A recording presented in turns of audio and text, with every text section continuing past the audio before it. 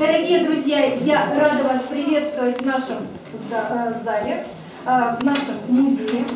Вы знаете, что указом президента России 2014 год объявлен годом культуры. Поэтому мы, присоединяясь к международной акции «Ночь музея», проводим, приглашаем вас на Ночь искусств музея. Итак, начинаем. Культура – это лучшее достижение людей в материальной и духовной жизни. Духовной составляющей культуры является искусство. А искусство – это образное осмысление действительности в разнообразных художественных формах.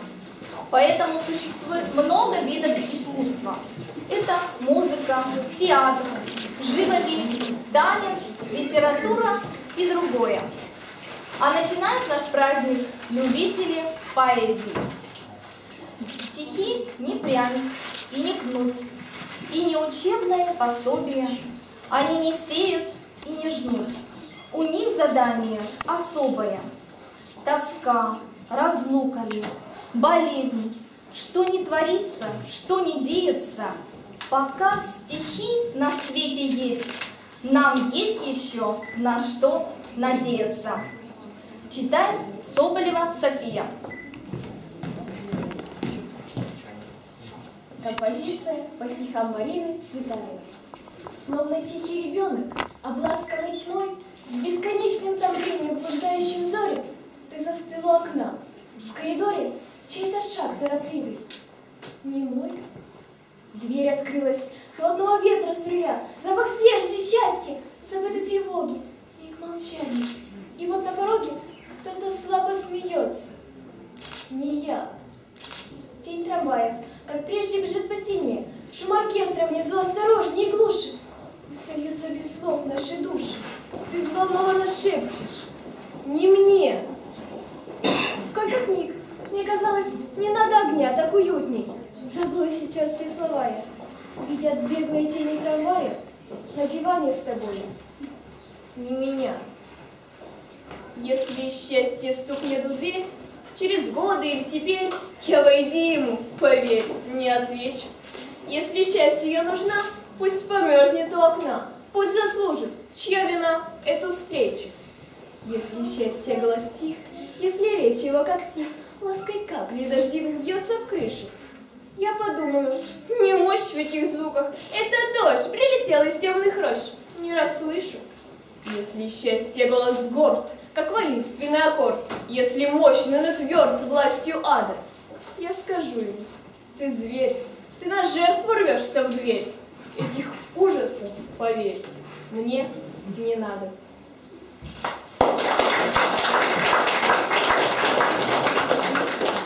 Спасибо.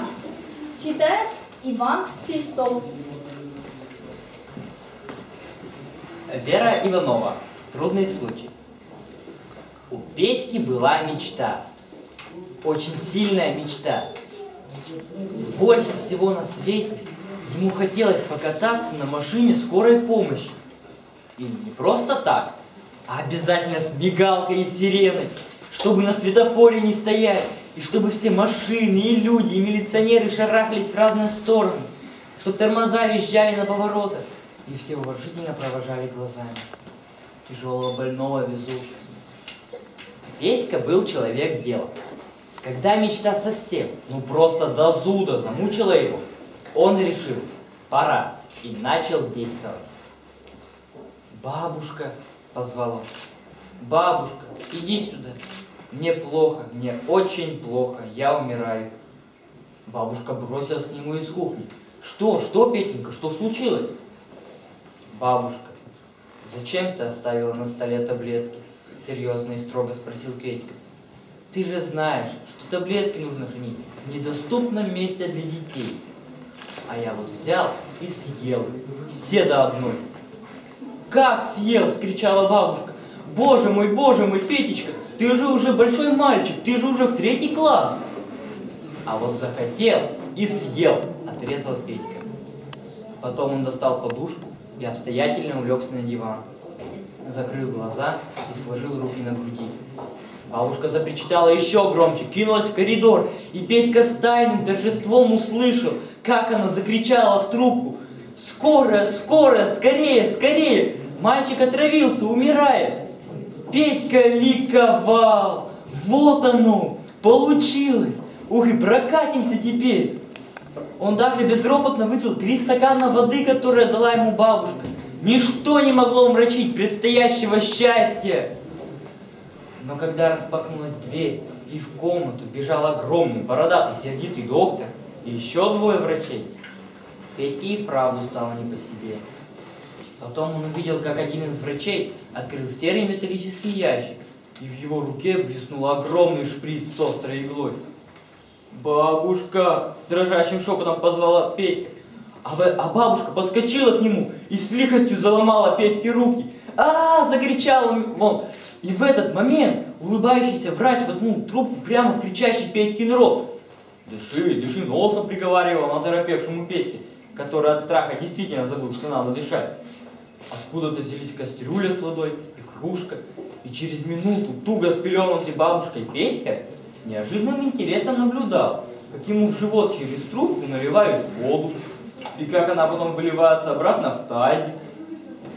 Так продолжалось долго-долго, пока вся вода не прошла через Петькин живот. Петька чувствовал себя героем. Он даже почти не ревел, когда ему делали укол, и без сопротивления дал бабушке надеть на себя все, что она хотела. Даже платок, хотя на улице была теплынь. А потом, потом было все, конечно, так, как Петька и мечтал. Была мигалка, был оглушительный вой сирены, и испуганные прохожие шарахлись в стороны, и машины жались к обочинам. Настоящая погоня, только без перестрелки. Устало врачи жевали бутерброды. Эх, Петька, Петька, что это ты на бабушкины таблетки набросился? Голодный, что ли? Или глупый? Нет, ехидно хихикнул другой. Он просто захотел, чтобы ему сделали промывание желудка. Ну, не на машине, в конце концов, покататься решил. Все-таки не трехлетний. Да нет же, нет, начал оправдываться Петька, испугавшись, как бы врачи действительно обо всем не догадались. А правда, как объяснить, почему он съел таблетку?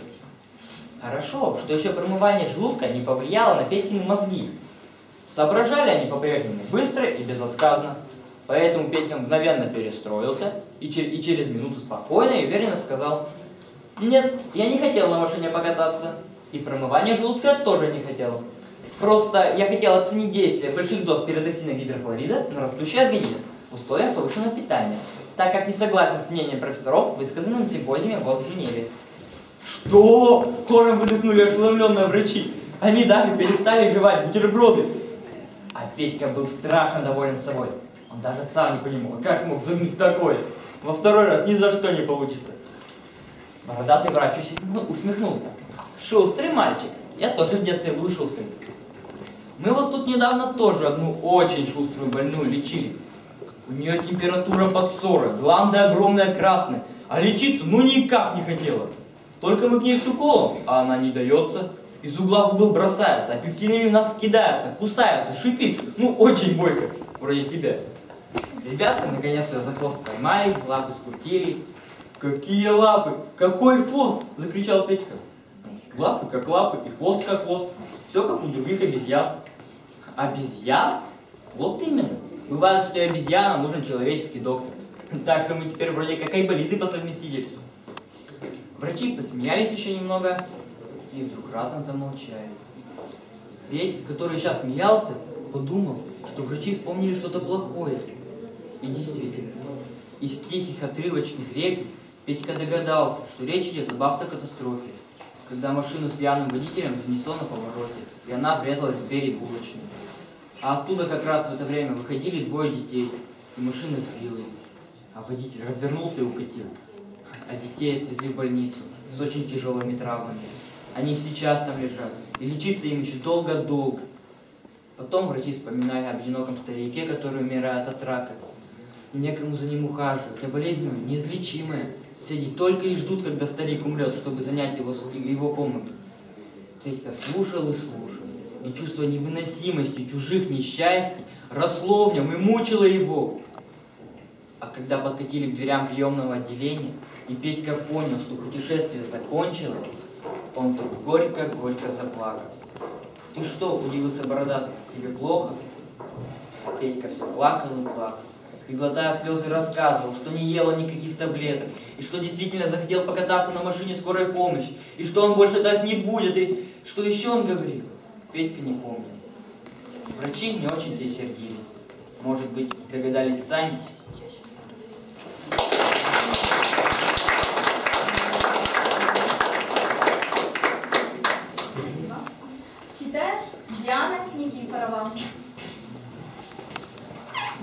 Куджава, тянется жизни моей карнавал. Тянется жизни моей карнавал. Счет подведен, а он тянется, тянется. Все совершилось, чего я не ждал. Что же достанется? Что же останется? Всякая жизнь на земле — волшебство. Болью земли своей страждем и мучимся. А вот соседа любить своего все не научимся, все не научимся. Траты души не покрыть серебром. Все, что случается, скоро кончается. Зло, как и сталь, верховодит добром. Впору отчаяться. Всех и надежда на малую горсть. И потому, знать, в и мечется. Гордый и горький, и острый, как гвоздь. Карий и страждущий глаз человечества.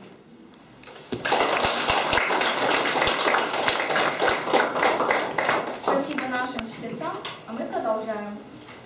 Искусство быта окружает нас, изделия мастеров умелых. Любуемся мы красотою вас, фантазией полетом смелым.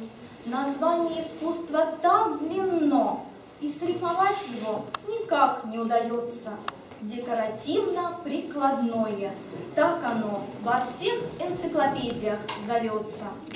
Весь вечер свои работы представляют сегодня народные мастера Александр Шитиков и Константин Ильин. Свои работы сегодня представил также фото молодой фотохудожник Михаил Устюжанин. Сюда можно выйти. Это его первая выставка продажа. Понравившиеся работы можно приобрести. А мы сегодня поздравляем молодого мастера с дебютом. Давайте поаплодируем.